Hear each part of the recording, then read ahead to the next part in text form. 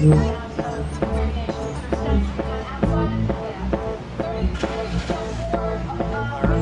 with Shutdown Indian Point now, and I'm here in solidarity with the people of Japan and the women who are on sit-ins in Japan. Um, I'm here because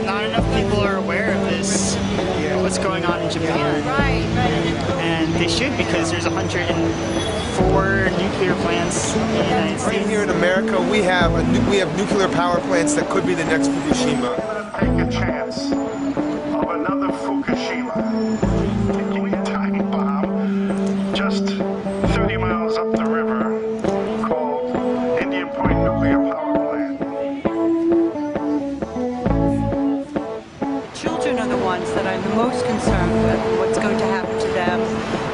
generations are going to see so many birth defects. we know that that, that radiation will eventually end up here uh, in our food, on our children. why in Japan can they not find a better solution to all of the nuclear rubble after this horrific accident has happened. I'm not so sure that spreading it around, dumping it into Tokyo, dumping it into other areas is really the best plan. There has to be a better way. We need to create a better way. the guy.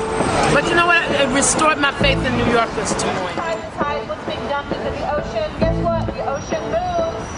It moves around, it's the same food. It's going to end up in everything, in all of our food, in our bodies, in our children's bodies.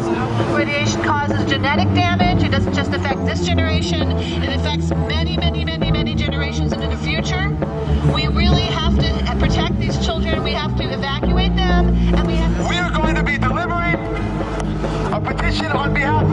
of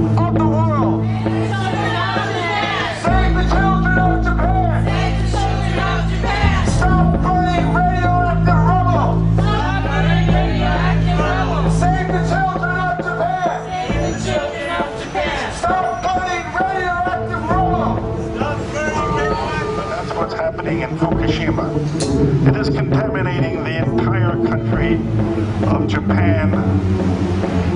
And that contamination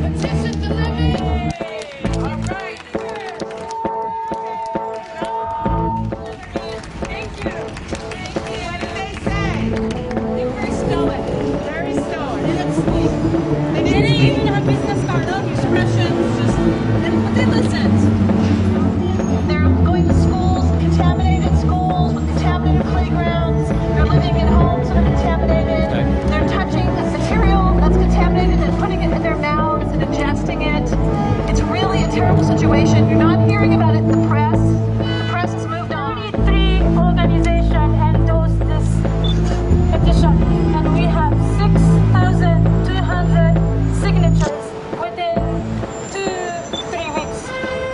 Um, we're gonna keep this petition going on. This is gonna be an international campaign for people